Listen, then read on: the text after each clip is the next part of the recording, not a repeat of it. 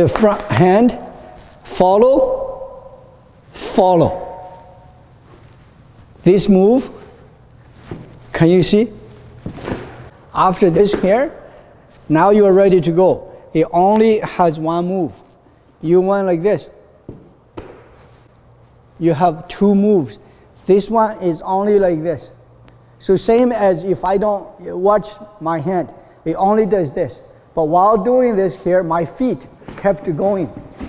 So you're doing this, it did not work. Now you did this, it did not work. You did this, it did not work. This is the problem. See, watch. You do this, it did not work. Then you do another one, another one, another one. Can you see the top never matches the bottom? The top is continuous, the bottom keeps changing. On the shuttle here, imagine there is a wall here, there is a wall here. So in the air, your hands must touch both walls. You must have this here. Do you understand that? And that's a stretch in the air, or you can say in motion. The problem is when we, our moves are stationary, and yet it's already difficult for you to do the split. You see here, I'll use the same example again. So you watch again. My front hand is one and a half inches from the wall. So this is the stretch. But when we did that, we are not doing it here. This here is also one and a half inches away from the wall. The wall is here. So we have to have this.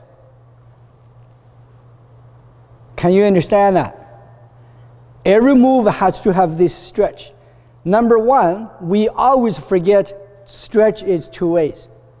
Number two, we always not stretch, we rotate, which means we went like this. Can you see? We did not stretch. We did not become bigger. We just went sideways. So the move is the torso can never go like this. The problem is when we make a move, can you see the torso likes to move with it? The torso has to stay there, but the movement of the torso has to come from the feet. So in this particular move here, can you see?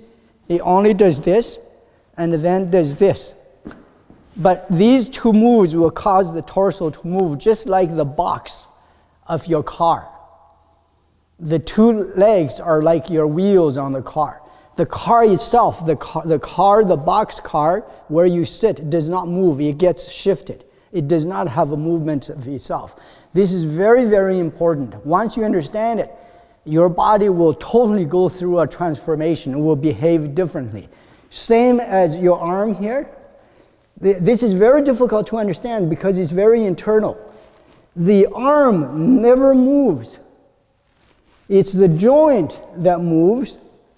And so to speak, if you put something on here, it because your arm does not move. If you put my arm is round, if it's flat, you put a cup of coffee on it, it won't move because only the joint moves. Our problem is the arm moves. So the torso, same thing. So the torso is only allowed to do this. And this has to be done while the legs are moving the, the torso. So from here, can you see, as that happens, the legs are doing it, and then the torso only does this. So can you see? Here. Then you can combine it. It looks like it's doing this, but it does not. Wait here, and now face this here. So as you step, your body is here. And now you continue with your arms until this arm actually is going this way. This arm is going that way. Can you see? That's this here. But the body stays here. So don't go like this. Don't turn this way.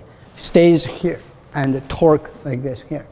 And as you release this here, this one does the positive circle.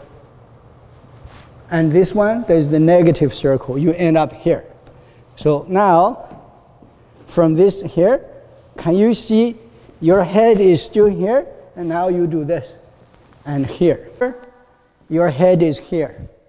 And then when you turn can you see your head stays there your head cannot follow your hand So this move here, the, the single whip diagonally, your head stays here, stays here. Your body goes that way. Can you see your body is going that way? Then in the end, look here.